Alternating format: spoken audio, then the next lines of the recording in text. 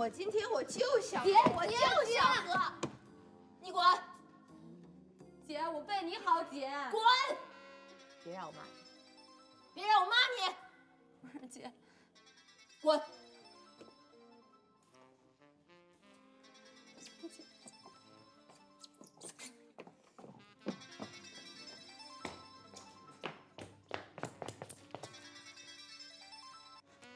喂，子晨哥，哎，我小南，我姐，我姐情绪不好，一个劲儿喝酒，对，就是不接电话。啊，你在哪儿？好，我问下服务员，问他怎么走。哎，好。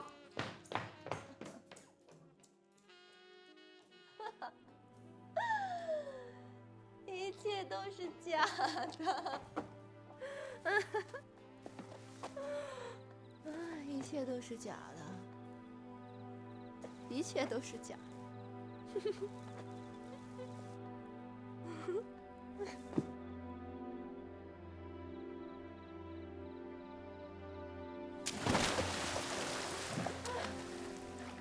看见了吗？就在那儿。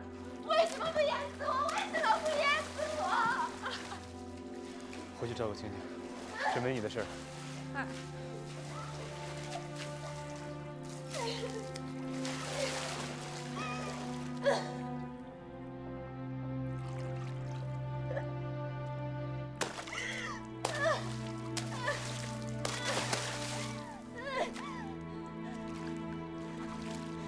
有什么事情上来说好吗？你来干什么？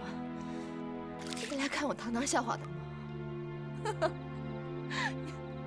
每个人都说让我真诚，我真诚，我承认了我和葛林的儿子晶晶，可我得到了什么？我的家乡被取消了，我的家乡被取消了。我很想死，我很想死，我很想死！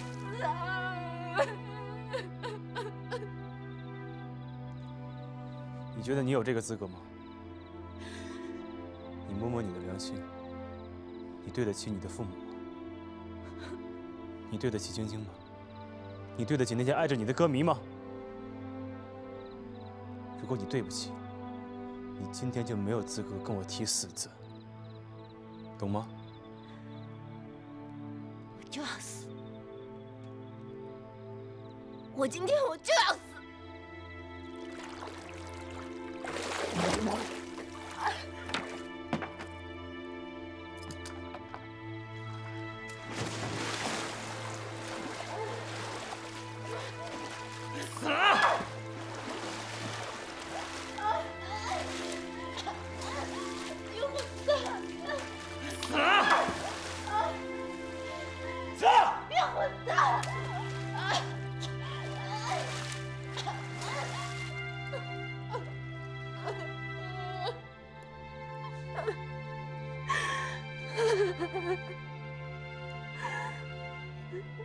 太不知足了。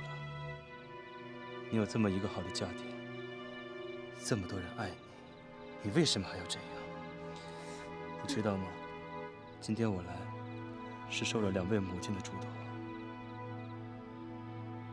他们现在很担心你，他们现在在家里已经老泪纵横了，你知道吗？你就这么对待他们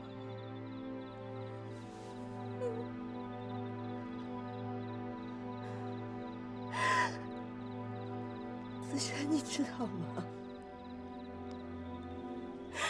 我爱你，可是我得不到你的爱。我爱唱歌，可是我失去了整个舞台。你说，你说我现在该怎么办？啊？你说我现在该怎么办？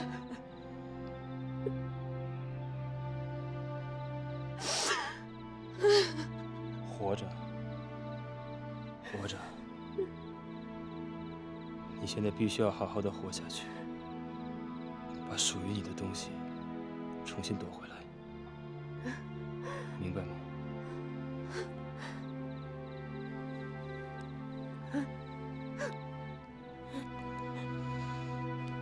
我能吗？我还能吗？当然，他相信你。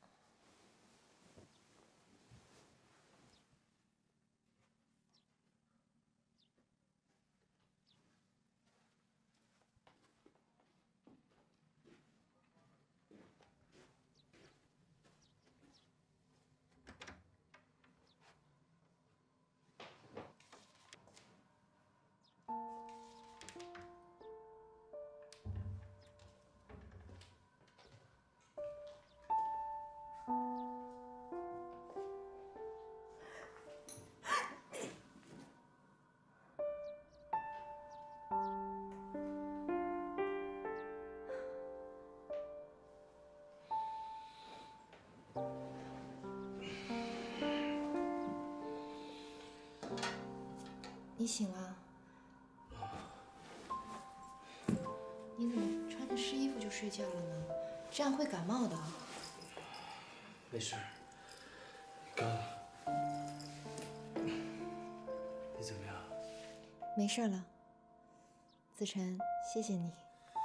嗯，没什么事儿，我还要去开会呢。啊，那你路上小心啊。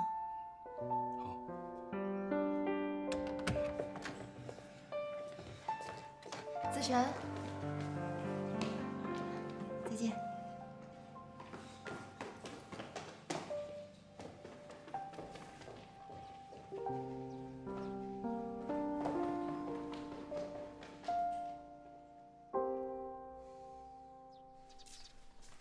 师母，早餐好了，去吃吧。钟琪啊，去吃点早餐吧。你都一晚上没睡觉了。糖糖没事了，咱就放心了呀。我知道是我错了，我不该让子晨去上海。可是当时不是没有办法吗？我着急的呀，打你的手机又不在服务区。你知道咱们女儿的性格那么刚烈，她的奖项被取消了，她一个人跑出酒店，万一出点事怎么办呢？我一着急，就给子晨打了电话。这事儿不怪师母，是因为那天接到小南从上海来的电话，说唐小姐出事儿了。我一着急，才让子晨到上海去的。也幸好子晨去的及时。你说当时子晨的电话再打不通，可怎么办呢？我真是有点后怕呢。怕什么怕？有什么大惊小怪的？你女儿不是三岁的小孩你知不知道子晨去开会啊？他是我的博士生，你知不知道？你给随随便便派到上海去了，你是什么干部？你甭装傻，都是你指使的，你可真会见缝插针，利用一切机会把两个孩子撮合在一起。你知不知道唐唐是个公众人物？你这时候把子辰弄到上海，意味着什么？你瞅那帮记者找不到唐唐的绯闻啊？上次的事情是不是惹得不够大，嫌两个孩子上报纸上的少？唐教授。我没你想的那么多，你比我想的多多了。等着吧，哎，等着出事吧。